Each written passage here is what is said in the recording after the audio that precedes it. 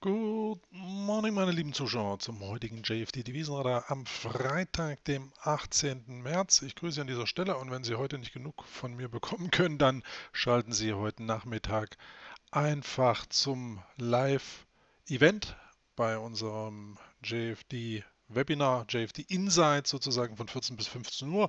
Da werden wir heute sozusagen Teil 1 des Konzept der technischen Analyse in Sachen Trenddefinition vornehmen, uns vornehmen, uns vorknöpfen vielmehr. Aber jetzt wollen wir uns mal dem Markt widmen und hierbei habe ich Ihnen speziell den Euro gegenüber dem Australdollar mitgebracht, der gepaart hier mit der Saisonalität ein sehr interessantes Setup aufweist. Wir schauen mal kurz auf den Tageschart, der sich hier wie folgt darstellt. Da hatten wir unlängst, ähm, nachdem es eigentlich hier hätte aufwärts gehen können, aber hier mit Bruch dieser Aufwärtstrendlinie und signifikanter Unterschreitung, insbesondere unsere Kerze hier vom 22.02. hat sich der Bias gedreht.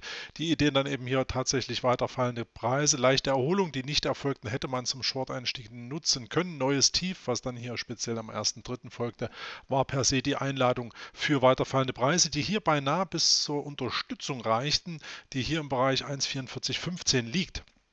Die Unterstützung wurde jetzt nicht ganz erreicht, aber wir sehen, das Währungspaar ringt hier derzeit mit, dem, mit der Vorherrschaft, also wohin jetzt hier die Reise am besten gehen soll. Und ähm, es ist im Hinblick der Saisonalität anzunehmen und Sie können sich an den Austral-Dollar, US-Dollar ein oder die Austral-Dollar-US-Dollar-Einschätzung vielleicht erinnern vom Beginn der Woche. Da ging es eben darum, dass der Aussie also hier eine bullische Phase vor sich hat, was hier beim Euro gegenüber dem Austral-Dollar, wenn der Euro jetzt nicht extrem outperformt, hier natürlich im Sinne der Cross-Prayer ähm, Differenz sozusagen ganz klar abwerten muss, sprich ein starker Australdollar führt den Euro gegenüber dem Australdollar nach unten und das scheint hier tatsächlich auch saisonal sich weiter fortsetzen zu können.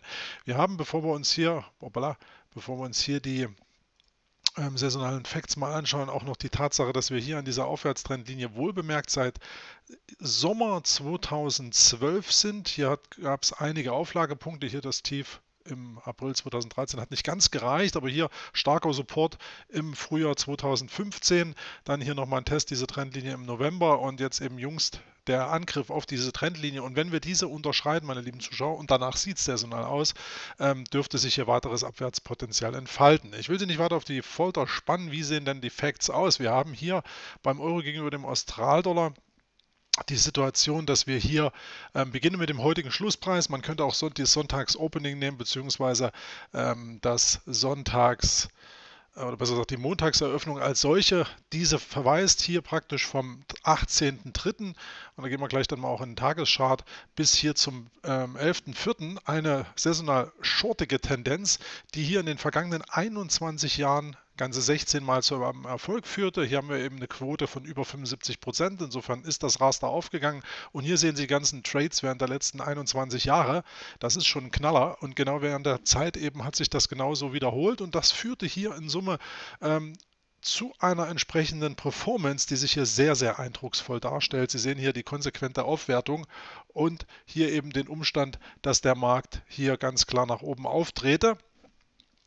Äh, die Performance nach oben auftrete. Der Markt, also der Euro gegenüber dem Australdollar, vielmehr hier schwächer tendierte.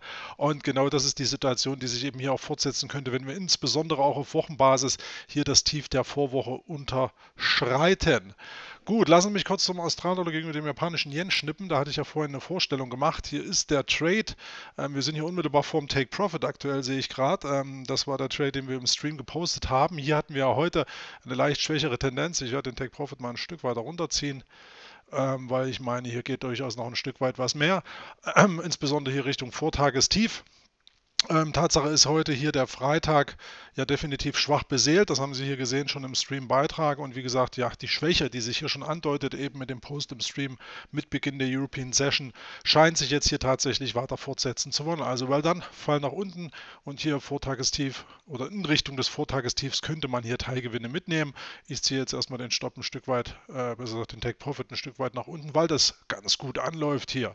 Sieht gut aus. Wie gesagt, grundsätzlich haben wir auch Potenzial bis 75. 23 etwa, das wäre die Average True Range, wenn die ausgeschöpft werden würde.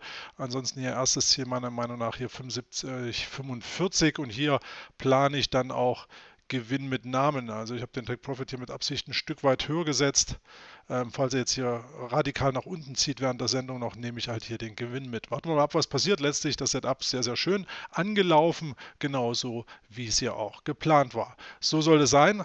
Ob es jetzt hier beim Australdollar gegen, äh, beim Euro gegenüber dem Australdollar so kommt, das werden wir mal sehen. Aber wir haben, wir, wie gesagt, gerade dargestellt, die Tendenzen, dass sich der Markt wohl hier weiter nach unten ähm, ausdehnen will. Und insbesondere, da verweise ich hier im Tagesschart eben auf die Situation, wenn wir hier das Tief der Kerze vom 10. März 1,4467 unterschreiten sollten, dann wäre hier der BIAS durchaus in Richtung weiterfallender Preise zu präferieren. Und dann hat man hier eben neben diesem Support-Level bei 1,4415 rund hier dann eben auch die nächste Zone von 1,3750 vor Augen. Und das muss man eben mal abwägen, ähm, ob man hier das Potenzial bis dahin hat. Denn durchschnittliche Gewinn betrug oder beträgt hier 401 Pips während dieser Zeit, während dieser Handelszeit. Das sind 16 Tage. Und ähm, wenn wir uns hier das mal vor Augen führen mit diesem 18.03. Entsprechend 11.04. Das ist kein langer Zeitraum. So.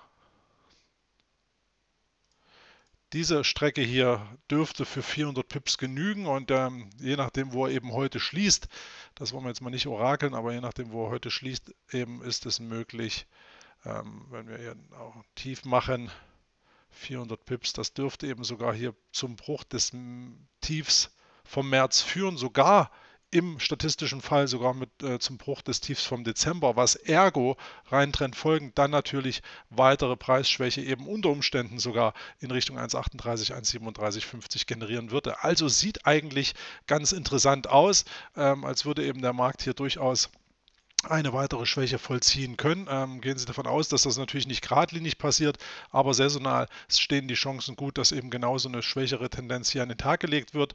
Ähm, nach oben hin muss man sagen, wenn wir hier signifikant über 1,49, 1,50 wieder rausziehen, dann hat sich der Bias wahrscheinlich erledigt.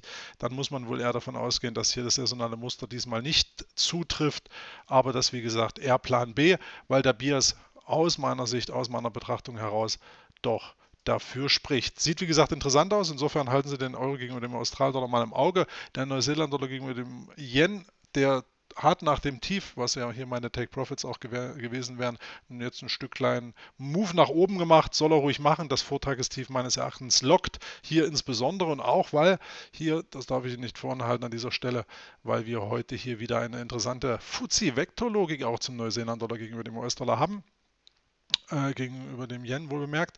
Und da habe ich hier durchaus am Freitag jetzt ein starkes Pattern, 67% 85 Erscheinungen und hier im Schnitt, da sehen Sie auch das Tief, das liegt sogar unter dem Vortagestief, ähm, wird hier eine Schwäche im Bereich 0,76 Prozent erwartet und ja, das gefällt mir ganz gut. Das passt im Prinzip zur aktuell auch angelaufenen Schwäche. Und insofern wollen wir doch mal sehen, wohin hier die Reise noch geht. Ich wünsche Ihnen auf jeden Fall jetzt erstmal ein gutes Händchen heute am letzten Handelstag. Wie gesagt, wenn Sie mögen, heute Nachmittag nochmal das ähm, Webinar JFD Insight. Und bis dahin viel Erfolg bei allem, was Sie angehen. Ihr Christian Kämmerer und tschüss.